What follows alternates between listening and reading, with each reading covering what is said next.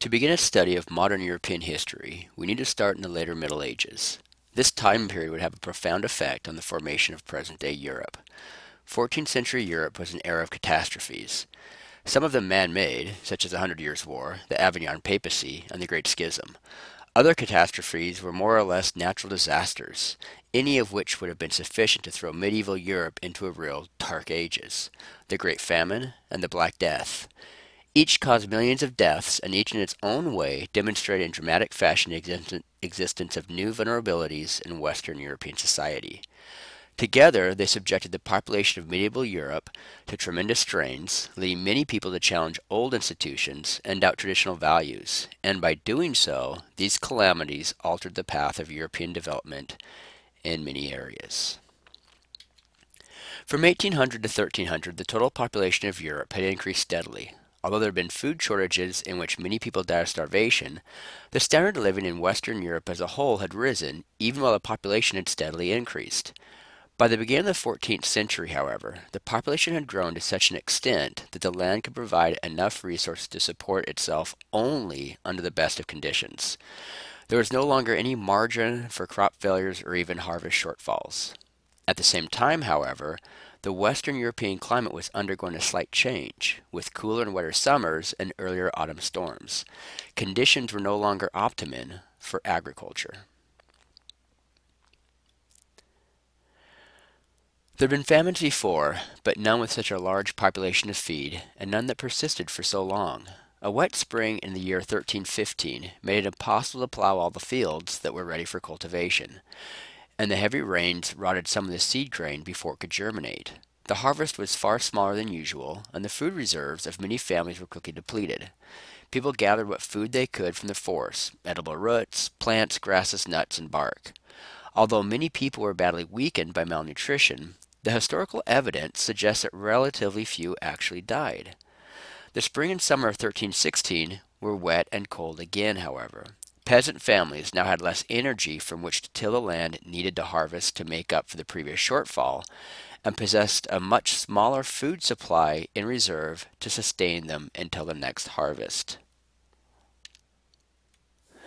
By the spring of 1317, all classes of society were suffering, although, as might be expected, the lower classes suffered the most. Draft animals were slaughtered, seed grain was eaten, infants and the young children were abandoned. Many of the elderly voluntarily starved themselves to death so that the younger members of the family might work to live and work in the fields again. There were numerous reports of cannibalism, although no one can tell if such talk was that or simply that of rumor mongering. The weather had returned to its normal pattern by the summer of 1317, but the people of Europe were incapable of making a quick recovery. An important factor in this situation was the scarcity of grain available to be used as seed. Although historians are still unsure of the validity of the figures, records of the time seem to indicate that a bushel, bushel of seed was needed in order to produce four bushels of wheat. At the height of the hunger in the late spring of 1317, starving people had eaten much of the grain normally set aside as seed, as well as many of their draft animals. Even so, any of the surviving people and animals were simply too weak to work effectively. About 10 to 15 percent of the population died of pneumonia, bronchitis, tuberculosis, and other sicknesses that the starving sufferers' weaknesses had made fatal, and there were consequently few, fewer mouths to feed. It wasn't until about 1325 that the food supply had returned to a relatively normal state, and the population began to increase again. Europeans were badly shaken, however. The death rate had been high, and even nobles and clergy had perished from hunger. The world now seemed a less stable and gentle place than it had been before the Great Famine. During the next few years, the European economy slowly improved, and agricultural and manufacturing production eventually reached pre-famine levels. This return to normalcy was suddenly ended in the year 1347 by a disaster even worse than the Great Famine. This was the Black Death, or the bubonic plague. The Black Death seems to have arisen somewhere in Asia and was brought to Europe from the Genoese trading station of Kaffa in the Crimea, part of the Black Sea. The story goes that the Mongols were besieging Kaffa when a sickness broke out among their forces and compelled them to abandon the siege. As a parting shot, the Mongol commander loaded a few of the plague victims into his catapults and hurled them into the town. Some of the merchants left Kaffa for Constantinople as soon as the Mongols had departed, and they carried the plague with them. It spread from Constantinople along the trade routes, causing tremendous mortality along the way. So, how was the Black Death transmitted? The three forms of the Black Death were transmitted two basic ways. Septicemic and bubonic plague were transmitted with direct contact with a flea, while pneumonic plague was transmitted through airborne droplets of saliva coughed up by bubonic or septicemic infected humans. The bubonic and septicemic plague were transmitted by the bite of an infected flea. Fleas, humans, and rats served as hosts for the disease. The bacteria, Yersinia pestis, multiplied inside the flea, blocking the flea's stomach, causing it to become famished. The flea would then start voraciously biting, biting a host. Since the feeding tube to the stomach was blocked, the flea was unable to satisfy its hunger. As a result, it continued to feed in a frenzy. During the feeding process, infected blood carrying the plague bacteria flowed into the human's wounds. The plague bacteria now had a new host, and the flea soon starved to death. The pneumonic plague was transmitted differently than the other two forms. It was transmitted through the droplets sprayed from the lungs and mouth of an infected person. And the droplets were the bacteria that caused the plague. The bacteria entered the lungs, through the windpipe, and started attacking the lungs and throat. Eyewitnesses' account to the horror tell specifically what had gone on.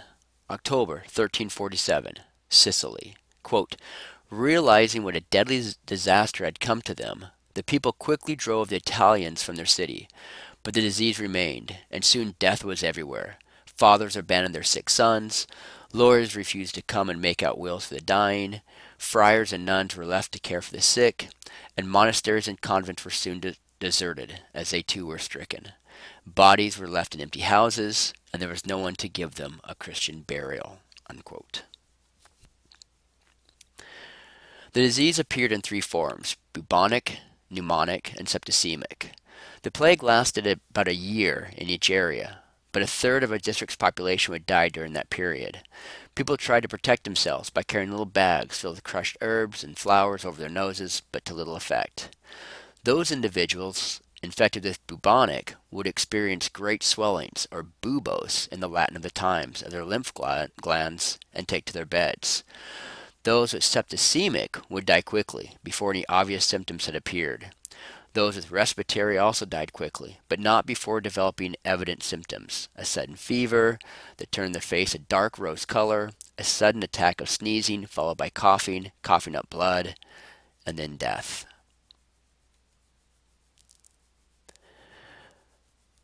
From the Decameron by Giovanni Boccaccio, it tells the images of the Black Death.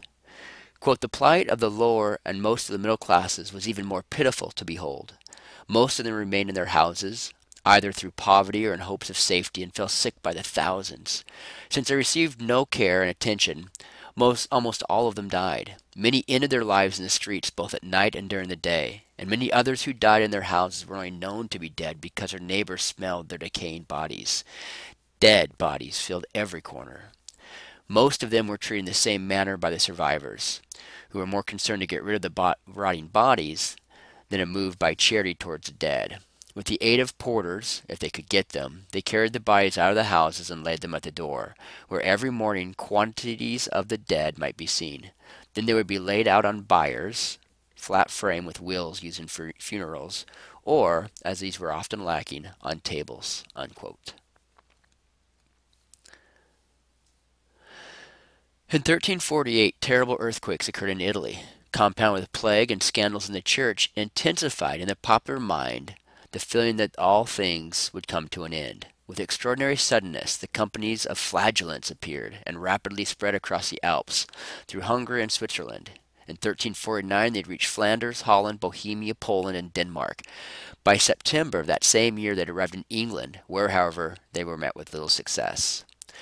All ages and conditions alike were subject to this mental epidemic. Clergy and laity, men and women, even children, scourged themselves in reparation for the sins of the whole world.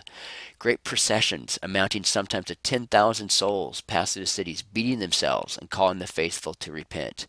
With crosses and banners borne before them by the clergy, they marched slowly through the towns. Stripped to the waist and with covered faces, they scourged themselves with the leather tongs till the blood ran, chanting hymns of the Passion of Christ, entering the churches, and prostrating themselves before the author, the altars. Outsiders were blamed, including populations that lived outside that of the Christian communities. In 1348, a trial of Jews at Chillon was supported by evidence extracted by torture. In Basel, all the Jews were pinned into wooden buildings and burned alive. Similar scenes occurred in Stuttgart, Ulm, Speyer, and Dresden. 2,000 Jews were massacred in Strasbourg. In Mainz, as many as 12,000.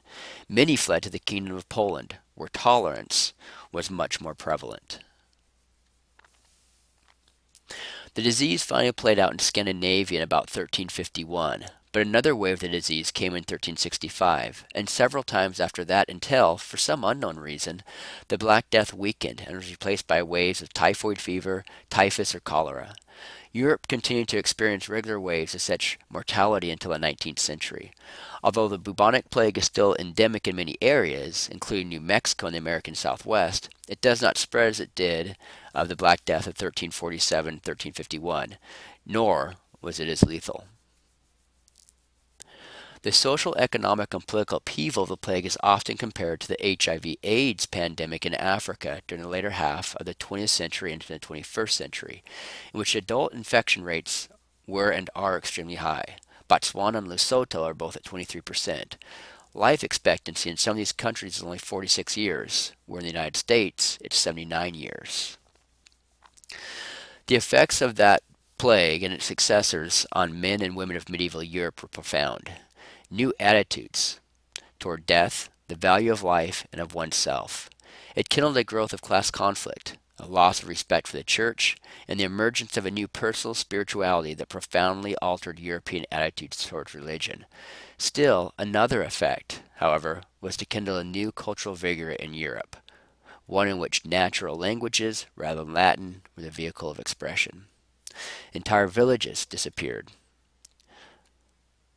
the use of vernacular languages had increased. I've already spoken um, and read some quotes from Giovanni Boccaccio's The Decameron.